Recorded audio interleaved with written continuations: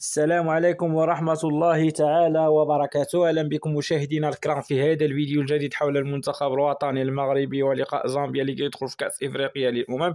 لقاء جد قوي للمنتخب الوطني المغربي مع المنتخب الزامبي بطبيعة الحال. لقاء جد قوي. إذا التشكيلة المناسبة للمنتخب الوطني المغربي مع منتخب زامبيا بطبيعة الحال في كأس إفريقيا للأمم. تشكيلة ستكون نموذجية للمنتخب الوطني المغربي لا جدال فيها ولا نقاش. إذا المنتخب الوطني المغربي عنده بزاف ديال اللاعبين كبار خاصة الاتحاد الإفريقي من سمحت للمنتخبات أنهم يطلعوا 27 لاعب شي حاجة اللي هي مميزة صراحة الآن شي حاجة اللي عطي الاختيار الكوتش ماشي غير ركراكي راه 24 منتخب مشارك. و27 كل كل منتخب راه شي حاجة اللي هي مزيانة صراحة. عطي الحلول للمدربين باش ما تبقاش عندهم أعذار بطبيعة الحال. راه 24 منتخب من قاره إفريقيا اللي فيها 54 دولة. راه على النصف بطبيعة الحال. النصف كتجي 27 وهذه 24 راه 46% ديال الدول الافريقيه كاينة في كأس إفريقيا. راه على نصف قارة إفريقيا كيعاد تجمع في الكوت ديفوار بطبيعة الحال. ابتداء من 13 يناير. حنا في 25 نوفمبر. بطبيعة الحال قل من شهرين بطبيعة الحال وتبدأ كأس إفريقيا للأمم. إذا التشكيلة المناسبة للمنتخب الوطني المغربي لمواجهة المنتخب الزامبي غنبداو بالحارس ياسين بونو. حارس الهلال السعودي اللي كيبقى واحد الحارس اللي هو كبير صراحة ومن خيرة الحراس اللي كاين اللي عند المنتخب الوطني المغربي حارس صراحة جد متميز 32 سنة خبرة كبيرة صراحة عند الحارس ياسين بونو اللي كيبقى حارس كبير صراحة اللي داز الفرق الكبيرة كفريق الوداد البيضاوي أم أتلتيكو مدريد واشبيليه الاسبانيه فرق كبيرة صراحة ومشى فرق كبير صراحة في السعودية اللي هو الهلال السعودي. إذا شي حاجة اللي متميزة الان نمشيو نخد الدفاع نبداو بالكابيتانو غالب سايس لاعب الشباب السعودي 33 سنة عميد المنتخب الوطني المغربي بعد انه قاز من البطولة الفرنسية الإنجليزية اللي هما بطولات قويين صراحة. وكذلك البطولة التركية اللي واحد البطولة ماشي قوية بزاف ولكن مشى قطر قطر وقعوا له مشاكل وما ما تقيدش مع الفريق السد القطري بطبيعة الحال باش يلعب البطولة القطرية. ولكن آه، ديك الساعة هز الرحال ديالو مشى مشى فريق الشباب السعودي اللي كنتمناو له بطبيعة الحال حد الساعات في فريق الشباب السعودي. صراحة ما عرفتش واش مشى كبيع نيشان أو لا كإعارة هذه مسألة غايبة عني ما عرفتهاش.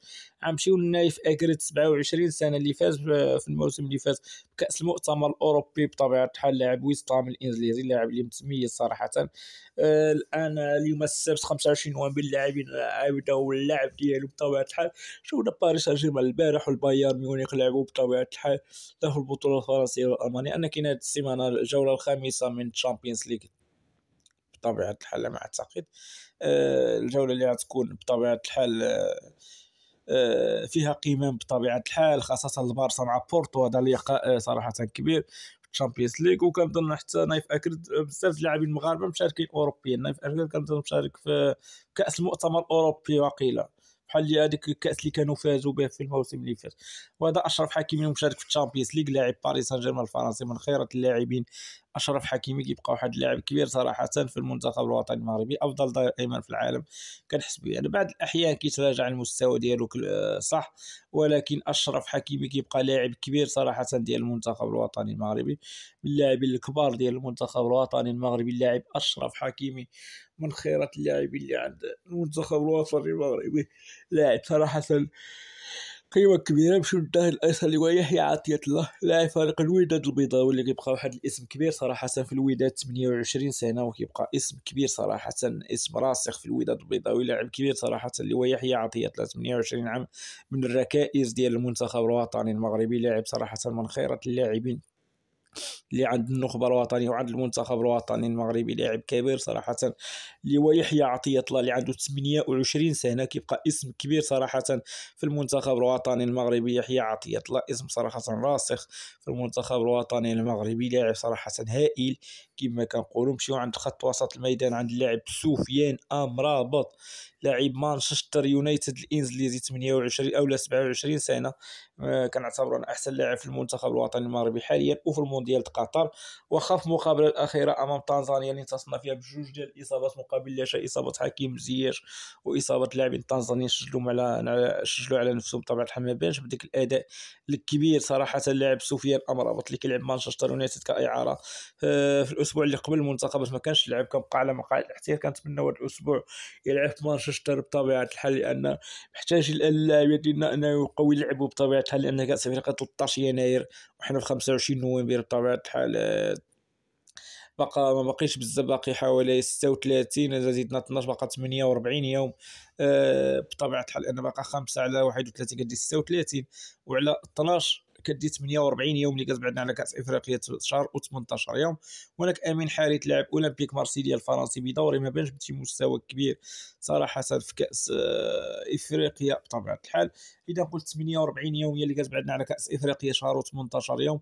ماشي واحد المدة كبيرة بزاف صراحة. غنمشيو عند اللاعب إسماعيل الصيباري لاعب بي إس في آيندهوفن اللي مشارك في الشامبيونز ليغ بطبيعة الحال الموسم الكبير البي إس في آيندهوفن هذا الموسم هذا بطبيعه الحال كانت عندها شي 12 مقابلة ب 12 انتصار الجوله هذه الجوله ما عرفتش واش لعبوا البارح ولا كيلعبوا اليوم ولا غدا ولا ولا الاثنين. إذا ما نعرف. المهم ديك الساعة نشوف بي اس بي اندهوبن شنو تقدر تعمل عاوتاني في هذه الجوله هذه إذا سمعت السيباري كان ممكن يداوز على الواخا ديالو باش يطلع عند كأس أمم افريقيا مع المنتخب الوطني المغربي بطبيعة بطبيعه الحال اللاعب اللي عنده تكوين بلجيكي وتسدد دولة إسبانيا وكيبقى من خيرة اللاعبين المغاربة. بطبيعة الحال نمشيو عند اللاعب حكيم زياش اللاعب كاراتا ساراي التركي من اللاعبين آه، بطبيعة الحال آه، اللي كيزيدوا العمل ديالهم بشكل كبير وكيلعبوا الكوتش الركراكي كأساسي.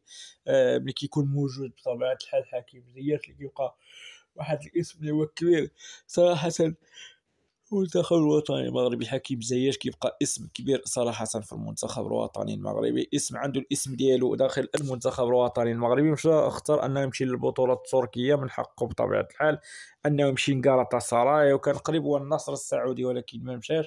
مشى فريق كاراتا سراي التركي. مشيو عند اللاعب أمين عادلي لاعب باير ليفركوزن الألماني. يعني هو كيبقى اسم اسم كبير داخل المنتخب الوطني المغربي امين عدلي لاعب آه، صراحة من خيرات اللاعبين ديال المنتخب الوطني المغربي. لاعب صراحة فيه مقومات كبيرة وكبيرة بزاف اللي هو اللاعب أمين عدلي اللي كيبقى واحد الاسم كبير صراحة داخل المنتخب الوطني في المقابلة الأخيرة إلا مقابلة تنزانيا. وأنا عملت في هذا المركز هو اللي عملوا فيه الكوتش الركراكي في المقابلة الأخيرة اللي ما عطاش ديك العطاء الكبير ولكن ممكن عاوتاني مع دورة مجمعة مع بزاف المقابلات مع ديك ممكن يعطي العطاء الكبير. وهناك طارق تيسودالي لاعب البطولة البلجيكية لاعب اللي كيتوفر على مهارات مزيانة أن يكون عندك رأس حربة عنده مهارة شي حاجة اللي هي جد متميزة صراحة نبداو فيها في لقاء زامبيا بطبيعة الحال. حيكون شي حاجة كبيرة للمنتخب الوطني المغربي من لاعبين آه، بطبيعة الحال اللي كان قبل الإصابة كان في مستوى جد ممتاز صراحة. المنتخب الوطني المغربي. آه، بعد الإصابة الآن صلاح بدا كيسترجع المستوى ديالو بطبيعة الحال هو اللاعب طارق تيسودالي هادشي اللي كاين كنشكر جميع الناس اللي تبعوا معنا هاد الفيديو من الأول إلى الآخر. شكرا لله